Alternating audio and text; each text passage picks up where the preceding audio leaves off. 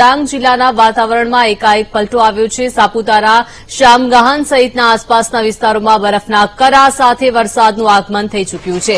બરફના કરા સાથે વરસતા વરસાદથી ખેડૂતોની ચિંતામાં વધારો થયો છે. પાક નિષ્ફળ થવાથી ખેડૂતોને હાલ ભીતિ સેવાઈ રહી છે.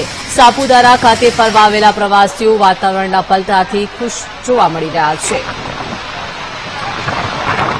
તો એકાએક ડાંગમાં વાતાવરણમાં પલટો આવ્યો છે. ડાંગ જિલ્લાના વાતાવરણમાં પલટો આવ્યો છે અને સાપુતારા, શામગાહન સહિતના આસપાસના વિસ્તારોમાં બરફના કરા સાથે વરસાદનું આગમન થઈ ચૂક્યું છે. તો બરફના કરા સાથે વરસતા વરસાદથી ખેડૂતોની ચિંતામાં વધારો થઈ ગયો છે. પાક નિષ્ફળ જવાની ખેડૂતોને હાલ ભીતિ સેવાઈ રહી છે. તો સાપુતારા ખાતે ફરવા આવેલા પ્રવાસીઓ હાલ ખુશખુશાલ જોવા મળી રહ્યા છે. સાપુતારામાં વાતાવરણ પલટાથી વરસાદનું આગમન થઈ ગયું છે અને ત્યાં આવેલા પ્રવાસીઓ હાલ ખુશ જોવા મળી રહ્યા છે. પરંતુ બીજી બાજુ પાક નિષ્ફળ જવાની હાલ ખેડૂતોને ભીતિ સેવાઈ રહી છે. હવામાન વિભાગ દ્વારા જે રીતે વરસાદની આગાહી કરવામાં આવી છે તે મુજબ એકાએક વરસાદનું આગમન થઈ ચૂક્યું છે. ડાંગ જિલ્લાના આ દ્રશ્યો ડાંગ જિલ્લાના વાતાવરણમાં એકાએક પલટો આવ્યો છે. કરા સાથે અહીં વરસાદ વરસી રહ્યો છે.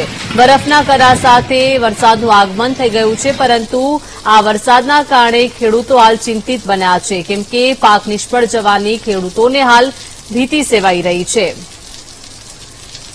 વધુ માહિતી સાથે સંવાદદાતા રાકેશ જોડાઈ ગયા છે. રાકેશ ડાંગ જિલ્લાના વાતાવરણમાં એકાએક પલટો આવ્યો છે. સાપુતારામાં પ્રવાસીઓ ખુશ છે, પરંતુ ખેડૂતો ચિંતિત બન્યા છે.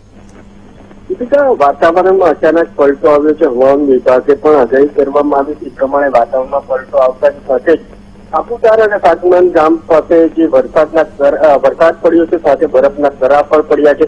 એક સુંદર વાતાવરણ પણ બન્યું છે. પરંતુ ખેડૂતો માટે ચિંતાનો વિષય બન્યો છે, કારણ કે ઊભો પાક જે કર્યો હતો, એમાં ભારે નુકસાની થવાની ભીતિ કહેવામાં આવી છે. સહેલાણીઓ ત્યાં પ્રવાસીઓ પણ આવતા હોય છે. સહેલાણીઓ આવતા છે. તમામ લોકોને એક નજારો જોવાની મજા પડી છે, પરંતુ ખેડૂતો માટે ચિંતાનો વિષય છે.